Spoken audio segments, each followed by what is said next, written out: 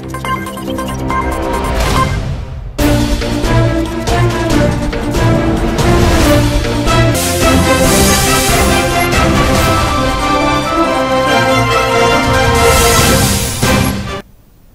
welcome to even TV news నేను హరిక ముందుగా headlines.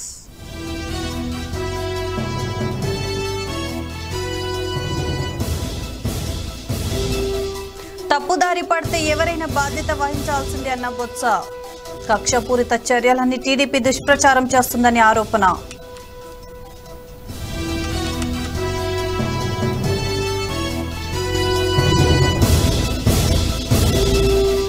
పింఛన్లు తొలగించడం దుర్మార్గమన్న వర్ల రామయ్య వృద్ధులు దివ్యాంగులు మానసికంగా కుంగిపోతున్నారని ఆవేదన వ్యక్తం.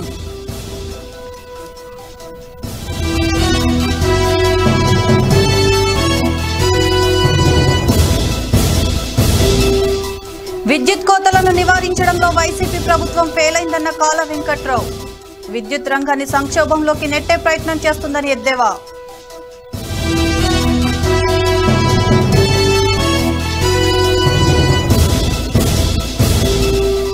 సినీ రంగ ప్రముఖులతో భేటీ అయిన మంత్రి తలసాని. కళాకారుల సంక్షేమానికి చేపట్టాల్సిన చర్యలపై చర్చ.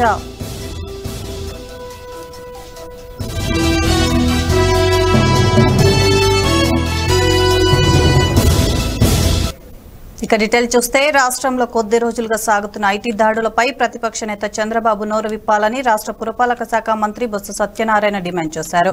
విశాఖలోని వైఎస్ఆర్సీపీ నగర కార్యాలయంలో సోమవారం ఆయన మీడియాతో మాట్లాడారు. చంద్రబాబు పీఎస్గా పనిచేసిన శ్రీనివాసరావు నివాసంపై ఐటీ దాడులు జరిగిన స్పందించకపోవడం ఏంటని ప్రశ్నించారు. ఇంటెలిజెన్స్ మాజీ చీఫ్ ఏబి వెంకటేశ్వరరావు శ్రీనివాసరావులపై చట్టపరంగానే ప్రభుత్వ చర్యలు తీసుకుందన్నారు. తప్పుదారి పడితే ఎంతటి వారైనా అందుకు బాధ్యత వహించాల్సిందేనని చెప్పారు. ఏవేవో కక్షపూరిత చర్యలన్నీ టీడీపీ దుష్ప్రచారం చేస్తుందని విమర్శించారు. సీఎం వైఎస్ జగన్ పై బురద జల్లాలని ప్రయత్నిస్తే బాగుండదని హెచ్చరించారు. ఇన్కమ్ ట్యాక్స్ రేట్ కక్షపూరితం కాదా? మరి ఎందుకు అనట్లేదు అని? ఒక వ్యాపారస్తు ఇన్కమ్ ట్యాక్స్ జరగచ్చు తప్పు కాదు. ఎందుకంటే అతను ఏదో పన్ను ఎగ్గొట్టాడని.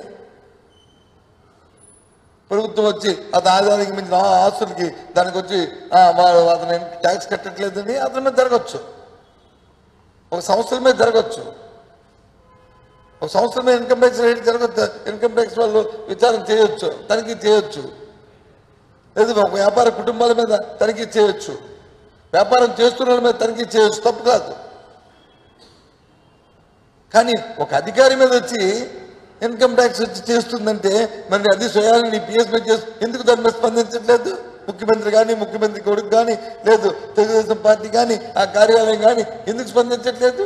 ఆయన కొత్త పలుకుతున్న ఈనాడు పత్రిక కానీ ఆయన మొత్తాలు పలుకుతున్న ఆంధ్రజ్యోతి పత్రిక కానీ ఎందుకు దాని మీద స్పందించట్లేదు? కారణం ఏంటి?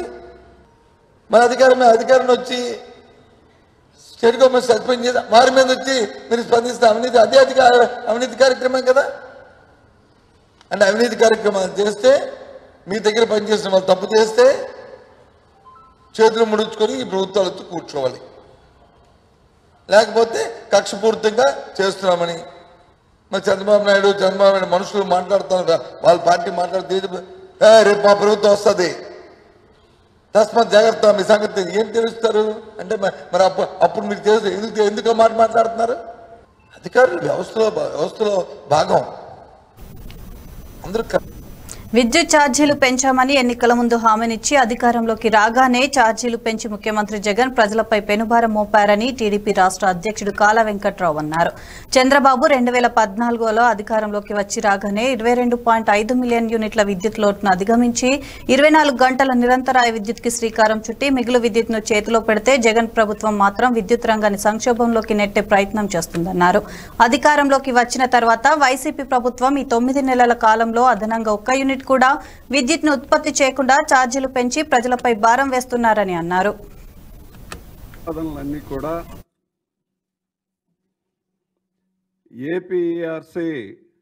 ఆమోదించి ప్రజల నెత్తిపైన భారం పడే విధంగా విద్యుత్ ఛార్జీలను పెంచటం చాలా బాధాకరం.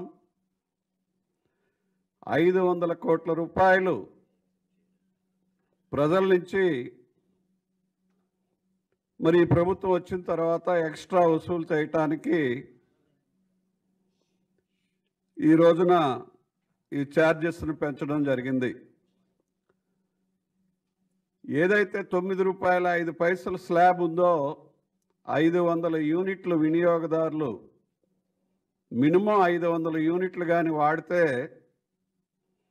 దానికి తొమ్మిది రూపాయల ఐదు పైసలు స్లాబ్ ఉండేటటువంటిది. ఈ రోజున తొమ్మిది తొంభై ఐదు పైసలు కట్టాల్సినటువంటి పరిస్థితి వస్తుంది. దీనివల్ల ప్రభుత్వానికి ఇంచుమించు పదిహేను వందల కోట్ల రూపాయలు వస్తుంది. ఇప్పుడు ఉండేటటువంటి పరిస్థితుల్లో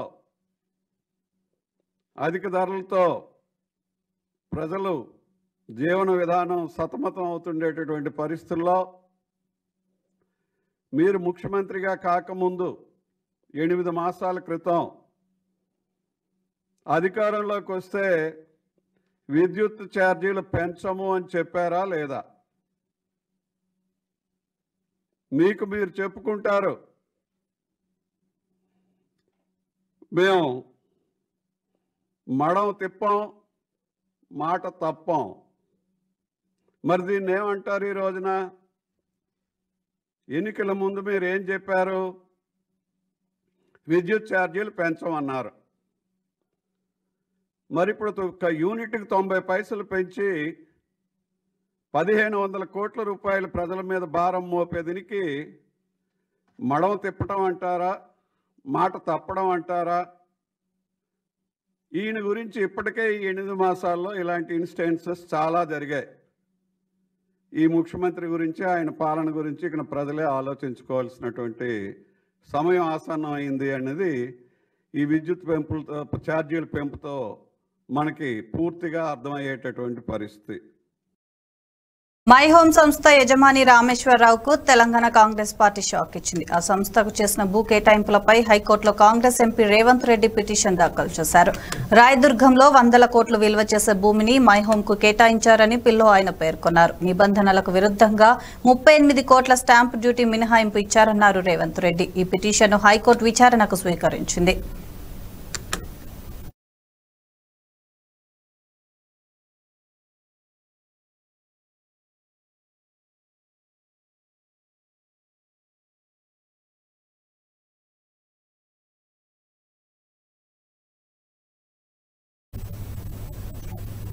రాష్ట్ర ప్రభుత్వంపై టీడీపీ నేతలు చేస్తున్న దుష్ప్రచారాన్ని నీటిపారుదల శాఖ మంత్రి అనిల్ కుమార్ యాదవ్ ఆగ్రహం వ్యక్తం చేశారు. పోలవరం పనులు ఆగిపోయాయని ఎల్లో మీడియా దుష్ప్రచారం చేస్తుందని మండిపడ్డారు. టీడీపీ అధ్యక్షుడు చంద్రబాబు నాయుడు మాజీ పిఎస్ శ్రీనివాస్ లోకేష్ సన్నిహితుల ఇళ్ళలో జరుగుతున్న ఐటీ దాడులను పక్కదారి పట్టించేందుకే ఇలాంటి కుట్రలకు పాల్పడుతున్నారని విమర్శించారు. ఆంధ్రప్రదేశ్ ముఖ్యమంత్రి వైఎస్ జగన్మోహన్ రెడ్డి అమలు చేస్తున్న సంక్షేమ పథకాలు ఎల్లో మీడియాకు కనబడం లేదా అని సూటిగా ప్రశ్నించారు. కొన్ని కథనాలు చూస్తూ ఉన్నాం. ముఖ్యంగా ఈరోజు ఒక కథనం చూసాం చెదిరిన చక్రం. ఆటో నగర్లో కేవలం అమరావతి పోలవరం ఆగిపోయిన వల్ల మొత్తం అసలు ఆటో నగర్ కుదేలైపోయింది అని చెప్పి ఒక ఇద్దరు ముగ్గురు వట్టాలు పెట్టి మైకులు పెట్టి రాసే కార్యక్రమం చూసాం ఈరోజు ఒకటి అడుగుతా ఉన్నాను ఆ పెద్ద మనిషిని రామోజీరావు గారిని. ఆటో నగర్ నాకు తెలిసి స్థాపించి ముప్పై నలభై సంవత్సరాలు అవుతా ఉంది. ఎట్ట ముప్పై నలభై సంవత్సరాల క్రితం ఆటో నగర్ స్థాపించిన రోజు ఒక మహాన్ మహానుభావుడు వస్తాడు ఒక అమరావతిని కడతాడు. ఆ అమరావతి కట్టిన వల్ల ఆటో ఈ ఆటో నగర్కి ఉజ్వల భవిష్యత్తు ఉంటుంది అని చెప్పేవన్నా ఆటో నగర్ స్థాపించారా? అలాగే పోలవరం. ఈరోజు అదే పత్రికని యాజమాన్యాన్ని అడుగుతా ఉన్నాం. అయ్యా రెండు వేల పద్నాలుగు నుంచి రెండు వేల పదిహేడు వరకు ఏదైతే అప్పుడు ముఖ్యమంత్రిగా ఉన్న చంద్రబాబు నాయుడు రెండు వేల పద్నాలుగు నుంచి రెండు వేల పదిహేడు దాకా పోలవరంలో ఎంత డబ్బులు ఖర్చు పెట్టాడు ఏం పనులు చేసి పెట్టాడని చెప్పగలుగుతావా? కనీసం రెండు వేల పద్నాలుగు నుంచి రెండు వేల పదిహేడు దాకా పోలవరం పనులు ఏమీ స్టార్ట్ కూడా కాల. అంటే అప్పుడు ఆటో నగర్ లేదా? ఆటో నగర్ సాగలేదా? కేవలం పోలవరం ఆగిపోయిందని ఎవరు చెప్పారు అసలు పోలవరం ఆగిపోయిందని? మీ ఛానల్సే రెండుసార్లు నేను పోలవరంకి వెళ్ళినప్పుడు నాతో పాటు వచ్చారు. నాతో పాటు వచ్చినప్పుడు పోలవరం పనులు జరుగుతున్నాయా లేదా అన్నది మీ ఛానల్కే కనిపించలే కాదు కదా? మీ పత్రికా విలేకరులు అందరికీ కూడా కనిపించినాయి.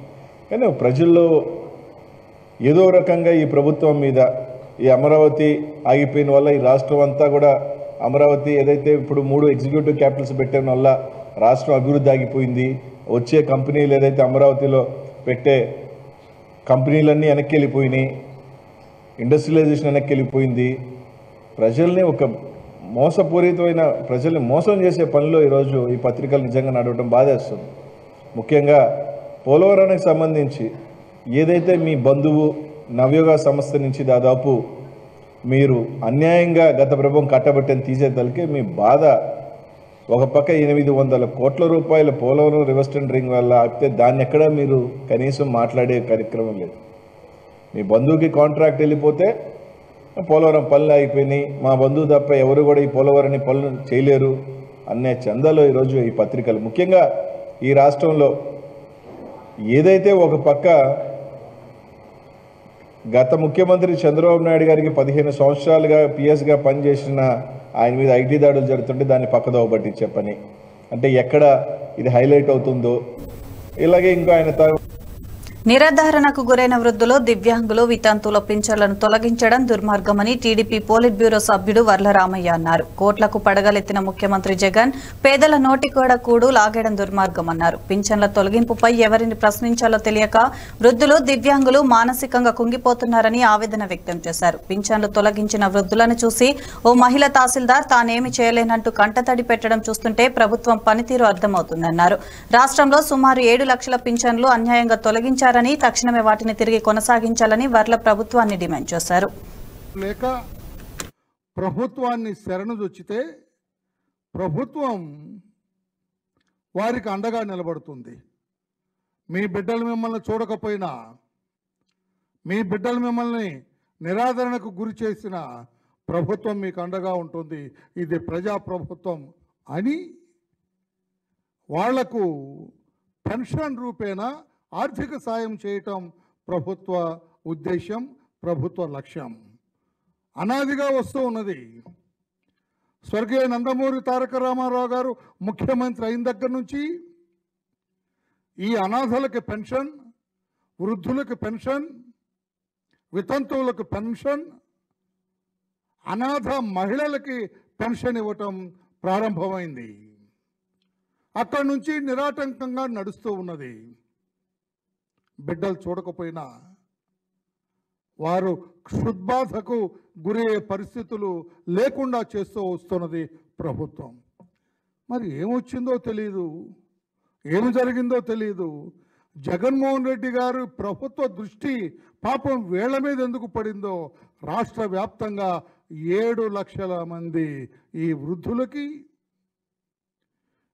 వికలాంగులకి వితంతువులకి అనాథ మహిళలకి పెన్షన్లు తీశారు. గగ్గోలు పెడుతున్నారు రాష్ట్ర వ్యాప్తంగా వారందరూ కూడా. అయ్యా ఎంతో కాలం నుంచి మేము పెన్షన్ అనుభవిస్తూ ఉన్నాం. డెబ్బై ఐదు రూపాయల పెన్షన్ తెలుసు మాకు. రెండు వందల రూపాయల పెన్షన్ తెలుసు మాకు. పాపం దేవుళ్ళగా చంద్రబాబు గారు వచ్చిన తర్వాత ఐదింతలు పెంచి వెయ్యి రూపాయలు పెన్షన్ ఇవ్వటం మాకు తెలుసు. ఆయన ప్రభుత్వ ఆఖరు దశలో మాకు రెండు వేల రూపాయలు పెన్షన్ ఇవ్వటం మాకు తెలుసు. మా జీవితం సజావుగా ఏ ఇబ్బందులు లేకుండా సాగుతున్న ఈ నేపథ్యంలో మూడు వేల రూపాయలు పెన్షన్ ఇస్తానని మీరు వచ్చి ఉన్న కూట్లో మట్టేశారండి సార్. మేము తినే తినే కూళ్ళో మా మట్టిపోసారండి సార్. మాకు పెన్షన్ లేకుండా చేశారండి సార్. ఎందుకు తీశారు సార్? మేము ఏమి తినాలి సార్? ఎలా బ్రతకాలి సార్? మాకు దిక్కెవరు సార్? ఇలా చచ్చిపోమంటారా? మా జీవితం ఈ రోజుతో ఖాళీయా? ఏ ఉద్దేశంతో మా పెన్షన్ తీశారు? అని ఒక్కొక్క సినీ ప్రముఖులు చిరంజీవి నాగార్జునతో తెలంగాణ సినిమాటోగ్రఫీ శాఖ మంత్రి తలసాని శ్రీనివాస్ యాదవ్ సోమవారం భేటీ అయ్యారు. నగరంలోని అన్నపూర్ణ స్టూడియోలో జరుగుతున్న ఈ సమావేశంలో పలు ప్రభుత్వ శాఖల అధికారులు కూడా పాల్గొన్నారు. తెలుగు చిత్ర పరిశ్రమ అభివృద్ధి సినీ కళాకారుల సంక్షేమానికి చేపట్టాల్సిన చర్యలు ఇతర అంశాలపై సమావేశంలో చర్చించారు.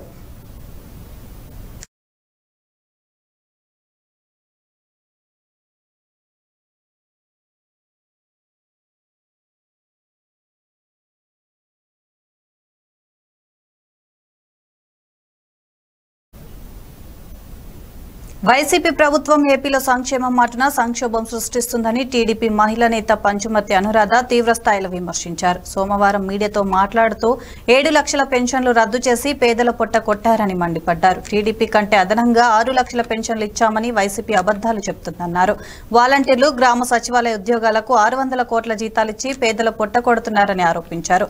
వైసీపీ ప్రభుత్వం ఇరవై లక్షల రేషన్ కార్డులు రద్దు చేసిందన్నారు. దళితులు బడుగు బలహీన వర్గాలకు వైసీపీ టార్గెట్ చేసిందని అనురాధ ఆగ్రహం వ్యక్తం చేశారు. రాజకీయ క్రీడ పల్లెల్లో గ్రామాల్లో ఆడుతూ ఉన్నారు. ఎవరైతే వైసీపీకి ఓటు వేయలేదో లేదా ఎవరైతే టీడీపీ సింపథైజర్స్ ఉన్నారో వాళ్ళందరినీ కూడా పని కట్టుకొని ఈరోజు ఏడు లక్షల పెన్షన్స్ని క్యాన్సిల్ చేసే పరిస్థితికి వచ్చారు. ఎందుకింత దుర్మార్గం? ఏం చేశారని ఈ పేద ప్రజలు? ఆనాడు చంద్రబాబు నాయుడు గారు పెన్షన్స్ విషయంలో మరి రెండు వందలు ఉన్న పెన్షన్ని రెండు వేలకి చేయడం జరిగింది. మీరు పెంచిన ఆ అరా కొర రెండు వందల యాభై రూపాయలకి ఈరోజు ఇంత రాక్షస క్రీడ ఎందుకు ఆడుతున్నారో ఖచ్చితంగా వైసీపీ సమాధానం చెప్పాలి. చంద్రబాబు నాయుడు గారు యాభై నాలుగు లక్షల ఇరవై ఐదు వేల పెన్షన్స్ ఆ రోజు మంజూరు చేస్తే మరి ఆన్లైన్లో ఒకటో తారీఖే ఇమీడియట్గా ప్రతి ఒక్కరికి కూడా అందే పరిస్థితి ఉంది. ఈరోజు మీరు ఇంకా అదనంగా ఆరు లక్షల పెన్షన్లు ఇచ్చాము అని చెప్పి చెప్తా ఉన్నారు. అంటే దాదాపు అరవై లక్షల పెన్షన్లు మీరు ఇచ్చారని మీరు మాట్లాడుతూ ఉన్నారు. కానీ ఈరోజు మీ డాష్ బోర్డ్స్లో యాభై రెండు లక్షల మాత్రమే ఉంది. అంతకు మించి ఒక్క మనిషి పేరు కూడా ఎక్కువ లేదు. ఎందుకు ఇలాగా అబద్ధాలు మాట్లాడుతూ ఉన్నారు? ఒక పక్క వాలంటీర్లకి గ్రామ సచివాలయ ఉద్యోగస్తులకి ఆరు వందల కోట్ల రూపాయలు నెలకి జీతాలు ఇస్తూ మీరు ఇంకొక పక్క పేద ప్రజలు పొట్ట కొట్టడానికి మీకు ఎవరిచ్చారు ఈ అధికారం అని చెప్పి మిమ్మల్ని అడుగుతా ఉన్నాం. ఈ పెన్షన్స్ సరైన సమయానికి రాక మీరు చేసే తప్పుడు రాజకీయానికి గ్రౌండ్ లెవెల్లో మీ ఎమ్మెల్యేలు మీరు చేసే పల్లెల్లో చేసే తప్పుడు రాజకీయానికి ఎంతమంది బలైపోతున్నారో ఒక్కసారైనా మీరు గమనించారా అని చెప్పి వైసీపీని మేము అడగదలుచుకున్నాం. కన్నూరులో చూడండి ఒక వృద్ధుని మృతి. క్యాన్సిల్ చేసినందుకు పేపర్లో కూడా వచ్చింది పండుటాకులకు గుండె కోత అని చెప్పి రాయడం జరిగింది. దీనికి వైసీపీ ఏం సమాధానం చెప్తుంది? అదేవిధంగా శ్రీశైలంలో తనికళ్ళ భరణి ఇతను కూడా మరి కావాలని చెప్పి పెన్షన్ వైసీపీ నాయకులు తీసేయటం వల్ల ఇతను కూడా మృతి చెందాడు. దీనికి వైసీపీ ఏం సమాధానం చెప్తుంది? ధర్మవరంలో కూడా ఇదే పరి అమరావతి రైతుల ఉద్యమానికి రాష్ట్ర వ్యాప్తంగా మద్దతుందని వారికి అండగా ఉన్నామని చెప్పేందుకు వచ్చానని టీడీపీ ఎమ్మెల్యే గోరంట్ల బుచ్చయ్య చౌదరి అన్నారు. తుళ్ళూరులో రైతుల దీక్షకు ఆయన సంఘీభావం తెలిపారు. ఈ సందర్భంగా ఆయన మాట్లాడుతూ ఎంతో గొప్ప చరిత్ర ఉన్న అమరావతిని రాజధానిగా వద్దనుకునే మూర్ఖులు ఎవరైనా ఉంటారా? అని ప్రశ్నిస్తూ సీఎం జగన్ వైసీపీ నేతలపై పరోక్ష వ్యాఖ్యలు చేశారు. ఈ పిచ్చాడు వల్ల మేము నష్టపోతున్నాం. ప్రజల్లో తిరగలేకపోతున్నామని ఆ ఎమ్మెల్యేలు మొత్తుకుంటా ఉన్నారు. ఎమ్మెల్యేని కలవడు వాళ్ళ మాట ఎండు ఎవరో ఇద్దరు ముగ్గురు బొస్సాలండి లుచ్చాను ఉంటారు అంతే. గుచ్చాలు లుచ్చాను కంటే అంతకంటాను శ్మశాను వాటికి అన్నాడమ్మా. నేను లుచ్చానికి ఏమంటాను? ఎందుకన్నాను? చంద్రబాబు గారిని ఎమ్మెల్యేని పచ్చిబూతులు అసెంబ్లీలో తిడుతుంటే బయట మీద తిట్టుకుని ఉంటామా అన్నారమ్మా అసెంబ్లీలో మమ్మల్ని మాట్లాడినాడు మైక్ ఇవ్వడం. ఏదైనా ప్రజాస్వామ్యంలో ప్రతిపక్షం కూడా అవసరం. నాగోటి వాళ్ళం సీనియర్లు ఆరోసారి ఎమ్మెల్యేగా ఎన్నికైనాడు. మాబోటి వాళ్ళు తప్పిదయ్యా దీన్ని ఇలా సరి చేసుకోమని చెప్పేవాళ్ళం. బూతులు తిట్టేవాళ్ళం కాదు కదా. ప్రస్తుతం జగన్మోహన్ రెడ్డి గారు ఒక కొత్తగా స్కూల్ పెట్టాడమ్మా. చంద్రబాబు గారేమో ఎన్టీఆర్ మోడల్ స్కూల్ పెట్టి ఎవరైతే ప్రమాదాల్లో చనిపోయిన వాళ్ళు పేదలు ఉన్నారో వాళ్ళందరికీ బాగా మంచి చదువులు చెప్పిస్తా ఉన్నాడు.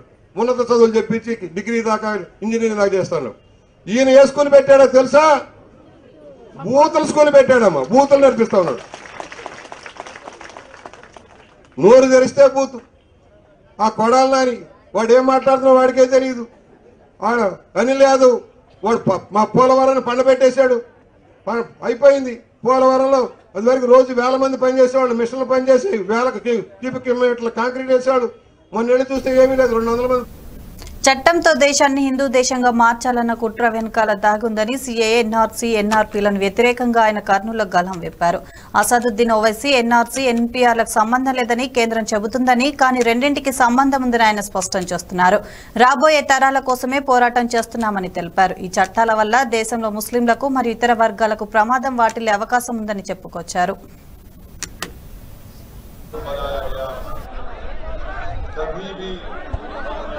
तरह का कानून भारत की पार्लियामेंट में नहीं बना था। ये कानून सी डबल ए का हमारे पार्लियामेंट में जो बनाया गया, ये हमारे कॉन्स्टिट्यूशन के फंडामेंटल राइट्स के खिलाफ है। हमारे कॉन्स्टिट्यूशन में, भारत के आइन में مساوات کی بات کہی گئی رائٹ ٹو ایکوالیٹی کی بات کہی گئی۔ اور ایکوالیٹی یہ کہتا ہے کہ کسی کو بھی مذہب کے نام پر کسی سے بھی ناانصافی نہ ہو۔ یہ قانون مساوات کی رائٹ ٹو ایکوالیٹی کی مخالفت کرتا ہے۔ یہ قانون ہمارے کانسٹیٹیوشن میں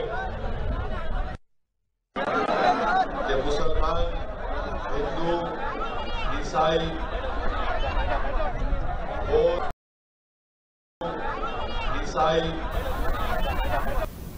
తిరుమలలో భక్తుల రద్దీ సాధారణంగా ఉంది. శ్రీవారి సర్వదర్శనానికి ఒక కంపార్ట్మెంట్లో భక్తులు వేచి ఉన్నారు. సర్వదర్శనానికి మూడు గంటల సమయం పడుతుంది. శ్రీవారి టైం స్లాట్ సర్వ నడక ప్రత్యేక ప్రవేశ దర్శనానికి మూడు గంటల సమయం పడుతుంది. కాగా నిన్న శ్రీవారిని డెబ్బై మంది భక్తులు దర్శించుకున్నారు.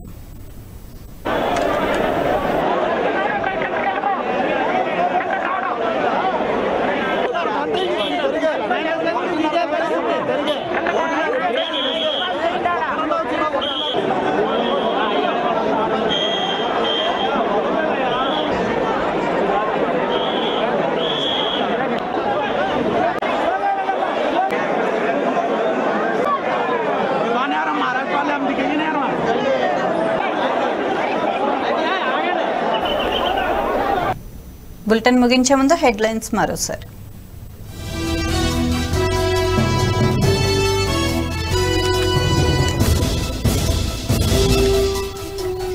తప్పుదారి పడితే ఎవరైనా బాధ్యత వహించాల్సిందే అన్న బొత్స. కక్షపూరిత చర్యలని టీడీపీ దుష్ప్రచారం చేస్తుందని ఆరోపణ.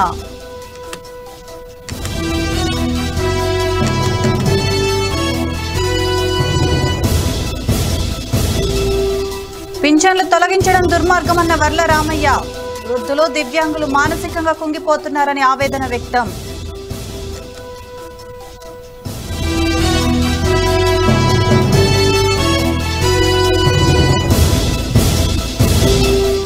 విద్యుత్ కోతలను నివారించడంలో వైసీపీ ప్రభుత్వం ఫెయిలైందన్న కాల వెంకట్రావు. విద్యుత్ రంగాన్ని సంక్షోభంలోకి నెట్టే ప్రయత్నం చేస్తుందని ఎద్దేవా.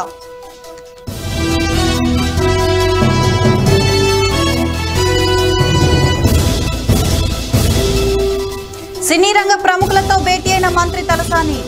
కళాకారుల సంక్షేమానికి చేపట్టాల్సిన చర్యలపై చర్చ.